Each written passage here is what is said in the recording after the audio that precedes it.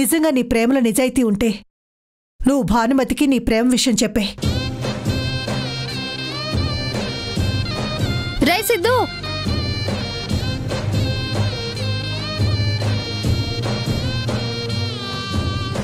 ఒకవేళ భానుమతి నీ ప్రేమను ఒప్పుకోకపోతే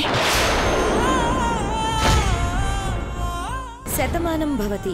సోమవారం నుంచి శనివారం వరకు సాయంత్రం ఆరు గంటల ముప్పై నిమిషాలకు మీ ఈటీవీలో